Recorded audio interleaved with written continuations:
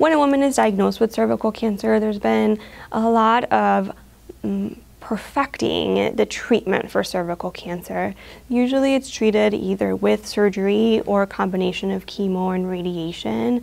Treatments ha have become very effective for cervical cancer patients. Um, this is a cancer that's very responsive to radiation and even in advanced settings we can get very good responses with radiation treatments. And so it's important for women to be aware of their bodies, to know or bring up when something is abnormal. And even if cervix cancer is diagnosed at a late stage, to know that these are treatable cancers and that coming to see me or to see another GYN oncologist is important and will really help with their treatment.